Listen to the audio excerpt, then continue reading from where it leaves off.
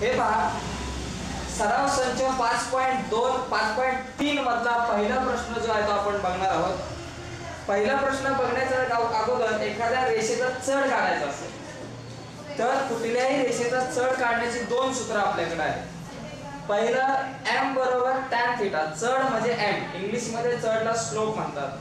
चढ बरोबर एम बरोबर टॅन थिटा हे एक सूत्र आहे. किंवा तुम्ही दुसरं सूत्र वापरू शकता.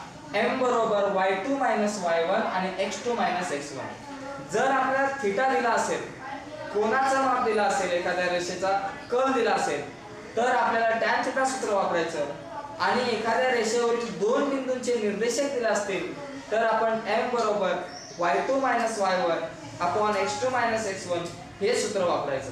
आपल्याला जो पहिला प्रश्न दिलेला आहे आता आपला पाच पॉईंट तीन मधला पहिला प्रश्न दिला आहे की एक्स या एक्स अक्षाच्या धन दिशेने केलेले कोण आणि त्यावरून रेषेचा चढ काढा. कोण जे दिलेले आहेत पहिला कोण जो थिटा बरोबर किती दिला? पहिला कोण पंचेचाळीस दिला. थिटा बरोबर पंचेचाळीस अंश. मग आता या रेषेचा कल दिलेला आहे. मग आपल्याला स्लोप काढायचा चढ काढायचा. मग चढ काढण्याचं सूत्र चढ एक्स बरोबर काय बाबा? टॅन थिटा टॅन थिटा किती आपल्याकडं? पंचेचाळीस. म्हणून टॅन थिटाच्या जागेवरती पंचेचाळीस अंश आता टॅन पंचेचाळीसची किंमत किती? आपली जी सारणी असते त्रिकोणमितीमध्ये आपण पाहिले एक सारणी पाहिलेली आहे त्रिकोणमितीमध्ये की टॅन पंचेचाळीसची जी किंमत आहे ती आपल्याकडे किती येणार आहे? एक येणार आहे. त्रिकोणमितीची जी काही टेबल आहे साईन कॉस थिटा टॅन यांची ज्या ज्या त्रिकोणमितीय गुणोत्तराचा जो चार्ट आहे. त्याच्यामधून टॅन पंचेचाळीसची किंमत एक आपल्याला मिळेल. त्याचबरोबर दुसरा जो प्रश्न आहे आपल्याकडं थिटा बरोबर आपल्याकडे किती आहे दुसऱ्या प्रश्नामध्ये? साठ आहे. थिटा बरोबर जर साठ असेल तर परत चढ बरोबर काय सूत्र वापरणार? आपण दुसरं सूत्र वापरून फायदा नाहीये.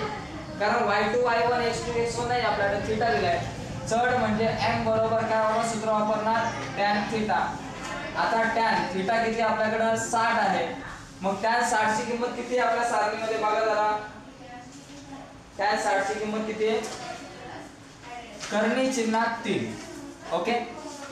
यानंतर तिसरा जो दिलाय तिसऱ्यामध्ये काय दिलंय? थिटा बरोबर किती तिसऱ्या प्रश्नात थिटा बरोबर किती दिलाय? टॅन सॉरी थिटा बरोबर दिलाय नव्वद दिलेला आहे थिटा बरोबर नव्वद. अंश.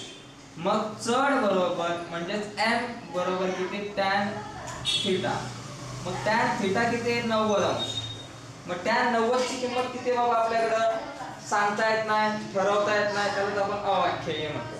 टॅन थिटाची किंमत सांगता येत नाही.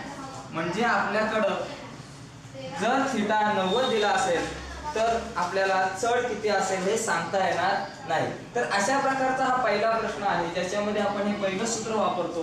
दुसरा जो प्रश्न आहे त्या दुसऱ्या प्रश्नात आपण पाहणार आहोत की दोन बिंदूंचे निर्देशक दिल्यावरती चढ कसा काढायचा? तर तो प्रश्न पाहण्याच्या अगोदर ही जी गणित आहे ते तुम्ही तुमच्या वहीमध्ये लिहून घ्या.